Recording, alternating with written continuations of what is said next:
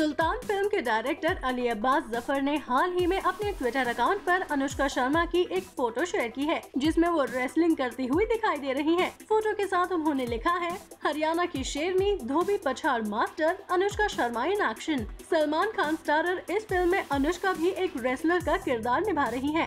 Film के लिए उन्होंने छह हफ़्ते की कड़ी ट्रेनिंग ली थी। बाद में अनुष्का ने इस फ़ोटो को शेयर करते हुए लिखा couldn't have imagine I could do this two months ago feeling blessed बता दें कि यश राज बैनर की ये फ़िल्म 8 जुलाई को रिलीज़ होगी। अभी वीडियो को लाइक करें, शेयर करें और अभी चैनल को सब्सक्राइब करें। इसी तरह की चटपटी न्यूज़ देखने के लिए फिर मिलेंगे मसालेदार खबरों के साथ। Bye bye